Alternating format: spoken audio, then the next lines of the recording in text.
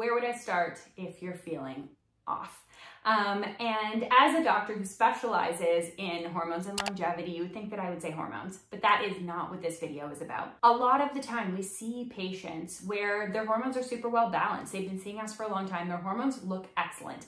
And yet they're going through a period of their life where they do not feel very good. Um, and so in this video, I'm gonna talk about actionable tips that we've given our patients that helps them get back into a rhythm of feeling better again. Really, a lot of this has to do with consistency. Humans are kind of designed to be on a rhythm.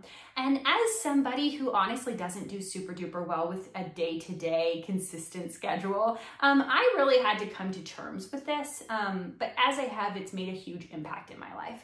So the first area of consistency that I would look at would be sleep.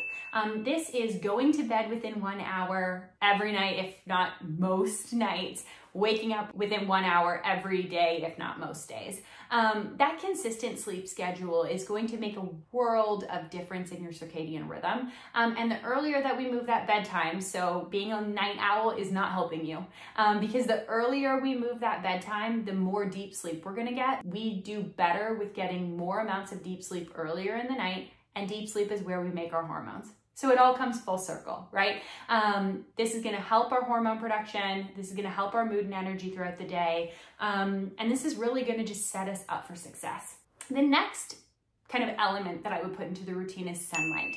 Um, so morning sunlight is really, really important for cortisol production. Um, and cortisol is one of those things that if it is off, it'll wreak havoc on the rest of your hormones every single time.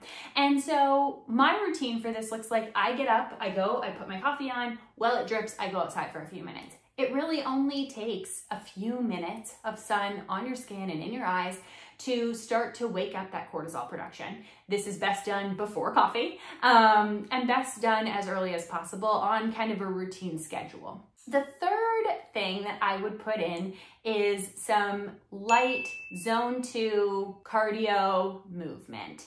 Um, and I say light movement for a reason because oftentimes when we're feeling not our best, people will tend to lean into some of the heavier exercises again to try and just get themselves moving.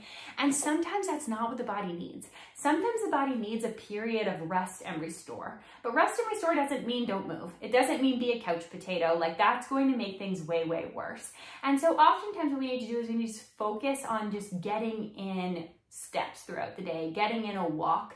Um, and we can pair this with some of our light routine to give us the best results, right? So an early morning walk in the sunlight will be great. Um, or an evening walk as the sun goes down would also be a really great choice if you're not feeling very good. Um, sometimes actually taking your foot off the gas of some of the more aggressive things can help us to, again, restore our cortisol levels, restore our stress response, um, and give our body a little bit of love in the way that it needs it. The fourth thing that I would recommend is a focus routine. Um, this was a game changer for me. Um, one of the things that was suggested to me by a mentor of mine is that um, there are three times throughout the day where you'll be the most focused. Um, it's the first 30 minutes after you wake up is your most focused time. Then it's three hours after that and then it's your 11th hour. So if you wake up at 5 a.m., then your 11th hour would be 4 p.m., and you usually get another hour stint.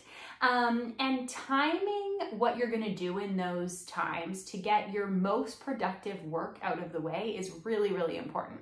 This is important for a couple different things, but it's also important for our dopamine, right? Dopamine likes when we accomplish things. And so setting a focus routine along with your sleep routine and your light routine, you're gonna feel like a brand new person. And these are the small habits that add up to big changes in life um, when you're not feeling your best.